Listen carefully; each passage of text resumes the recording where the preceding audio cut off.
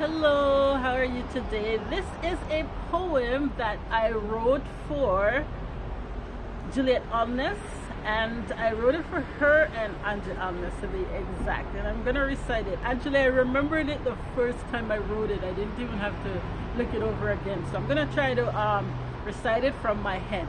Uh, my angel have a mango tree.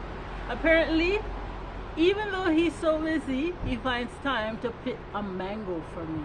That's why I love my angel. He's the perfect man for me. By the way, just to let you know, between you and me, it's me and my angel mango tree. Yay, I did it.